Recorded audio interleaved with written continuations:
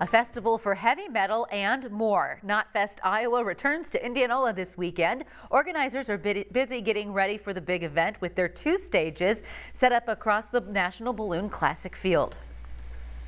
So we did a public safety walkthrough this morning, uh, lasted over two hours, and we look over everything, you know, how what what happens if someone has a medical emergency over here or if we need law enforcement over here. So um, it, it took a couple hours to get things sorted out, but we feel we're ready to go. Headlining is Iowa's own Slipknot. Overall, 13 bands are set to take the stage Saturday starting at noon. Ticketmaster and the Knotfest Iowa website show tickets are sold out.